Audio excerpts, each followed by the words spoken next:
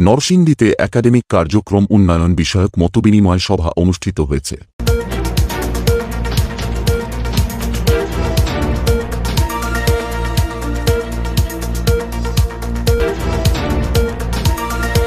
নরসিংদী জেলার মাদ্রাসা প্রধানদের সাথে একাডেমিক কার্যক্রম উন্নয়ন বিষয়ক মতবিনিময় সভা অনুষ্ঠিত হয়েছে। বুধবার বাংলাদেশ শিশু একাডেমি নরসিংদীর অডিটোরিয়ামে এ সভা অনুষ্ঠিত হয়।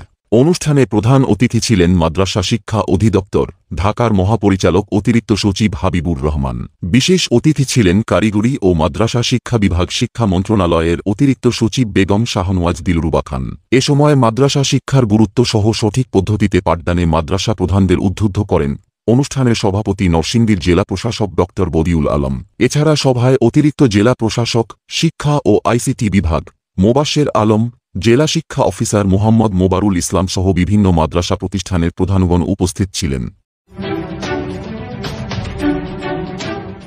চেতনা টিভি। স্বাধীনতার চেতনায় চির উজ্জ্বল। আমাদের সঙ্গেই থাকুন।